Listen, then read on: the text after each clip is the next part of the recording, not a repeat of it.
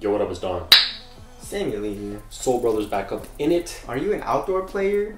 There's There's a lot of outdoor hoopers. Back in the day, I used to hoop heavy outdoors. Yes. Nowadays, not so much. A little bit worse for your legs.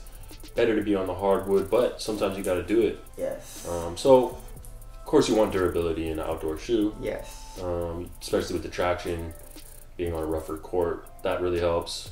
Also, Durable materials help too. exactly, and I think that's only for like if you do a lot of toe drags. Yeah. Which I I do a lot of toe drags, but like like Donnie Boy, he doesn't he like never do toe No. drags. So it all depends on your style of play.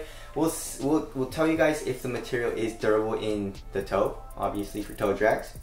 Also, Um, don't get a light colored shoe. Get a dark colored shoe. Or just like for, like never get a like Yeah, ever. for ball- ball But even more so outdoors. Exactly, Uh, exactly. they can get really dirty, and you know it helps if it's not the most expensive shoe yes. because it's an outdoor shoe. You know what I mean? They, definitely. they get banged up faster, so Yes, and also cushion. If the cushion is nice, yeah, that'd be great. You know that helps too.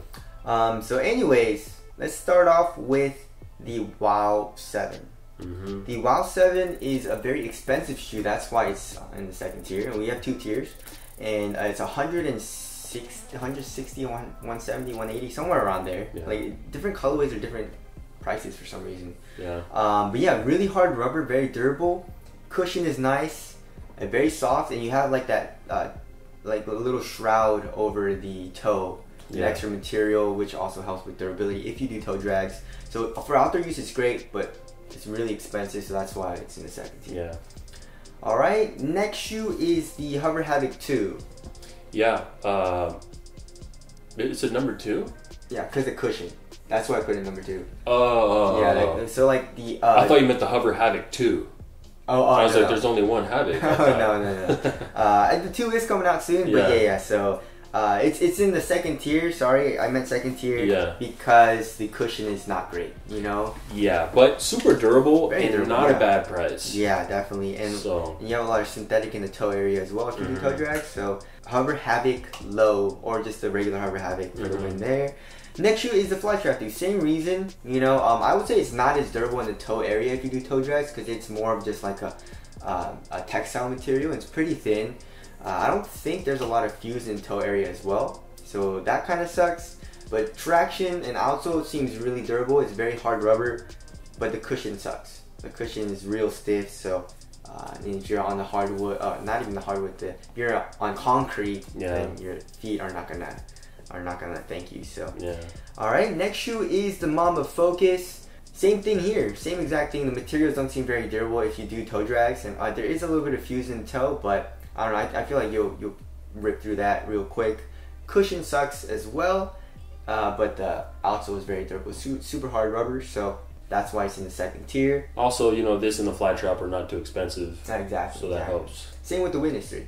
Yeah. Uh, I feel like the Witness 3 probably has the best cushion setup out of those three as far as the budget Nike models go. Super hard rubber, very durable cushion. It's a full length air unit, which is a little bit better, but also it bottoms out pretty quick because the cushion is so thin and you're so low to the ground. But uh, it feels a little bit better as far as like just playing, you know, not for hard impacts, you know.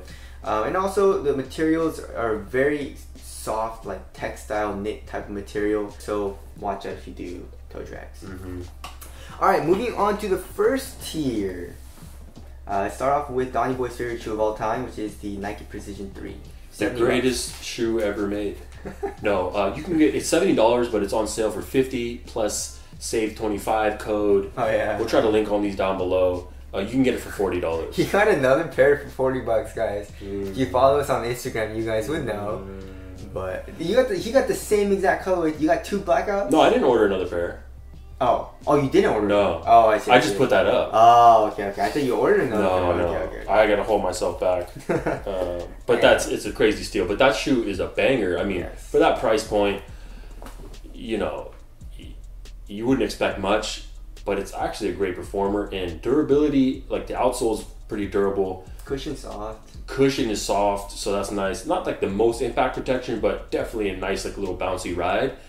The upper isn't like gonna be the most durable. Yeah, I don't think so. Yeah, but for that price, you can't really complain about that. Yeah. It's a it's a big time uh, outdoor shoe though But- for sure. Yeah, but it's like really thin and flimsy, and there's not a lot of. Is there fuse in the toe? There's a little no, bit, right? it's like a There's not? synthetic in the toe. Oh yeah, yeah. So uh, if you do toe drags, just watch out. Yeah. Just watch out. But uh, anyways, there's that. Next shoe is a CP 3.12. Traction is very durable. It's a, it's a hard rubber. It's a herringbone, very deep grooves. Cushion is very very soft. It's like a really soft Phylon with a nice forefoot zoom unit. Uh, the toe area is there's no fuse. There's no, nothing to guard against toe drags. yeah. Uh, I mean, you can scrape your toe with Exactly, those. This is exactly. a nice soft fly knit. Yeah, so you should be careful if you do toe drags. Be careful if you choose this shoe, but other than that, if you don't, it's a great option. Yeah. All right, next shoe is the Adidas Pro Vision. So the outsole is a full herringbone outsole, and it's deep grooves, pretty hard rubber. Cushion is full length bounce, which feels great for impact protection on outdoor courts. And you have like a suede, like pretty thick suede type of material in the toe area, which will be a little bit more durable than you know versus like a knit material, you know. So uh, you should be okay if you do toe drags. Uh, it should be a, a good amount more durable. So yeah, and it's only a hundred bucks, pretty damn cheap. And same thing with the Marquee Boosts. Um, Marquee Boost, uh, the rubber is a little bit softer than the Provisions, but I still feel like it'll be very uh, like adequate enough. hmm And cushion obviously is full length boost, so that's gonna be great. And materials are like this. It, it, it's a, it's a, it's slightly thick. It's more of like a what do you call fused type of textile material. You know what I'm saying? And it feels a little bit more durable than like the CP 3.12 flying in like the Precision threes. So uh, you should be pretty good to go with the uh, with toe drags in that Mhm. shoe. So yeah, it is a little expensive though. I think it's like 130 bucks for the Right. low, 120, 130 bucks. But you're getting boost, and I feel like it's, it'll be pretty good for outdoor use. So there's that. Next shoe is the Dame Five. Yeah. Really cheap, 115 bucks. Very durable outsole, very hard rubber. You have full length bounce. You're gonna be good on cushion, and the materials are. Pr- uh, it's like a pretty thick. Uh, it, it's a it's a mesh, but then underneath there's probably some like textiles and stuff like that underlaying the material. Yeah. Then the back half is like a synthetic Yeah, suede or leather. exactly. So you should be okay if you do toe drags. Yeah. But not the best protection against toe drags, but it's not the worst. So. All right, next shoe is the Li Ning Sonic 7. Mm. Uh, CJ McCollum wears this shoe, and uh, I've been playing in it. Uh, it's right here actually, and the rubber is very hard, so you're gonna be good to go for durability. You know, it's not the deepest grooves, but you should be fine. Yeah, they're not really sharp, so Yeah, uh, it doesn't look like they'll wear down really fast. yeah. And Chinese companies make like the extra durable rubber all the time, so you should be good to go. You have you know light full length light cushion, which is very very soft, so you're gonna be good to go for uh, impact protection. And then the materials, do you have a little bit of fuse, but uh, it's more of like a textile material. Um, so I feel like this fuse will help a little bit. So it's not it's not the best for protection, but it's definitely not the worst. It's probably Yeah. it's actually like pretty good. So you should be okay with toe drags.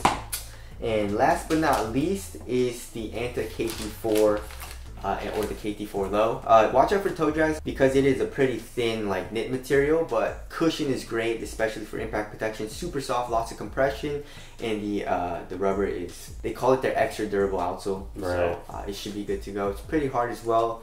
So, anyways, that's our list for the top outdoor shoes uh, that you can get right now. Top uh, outdoor basketball shoes. If you guys want to cop any of these, we'll leave links below.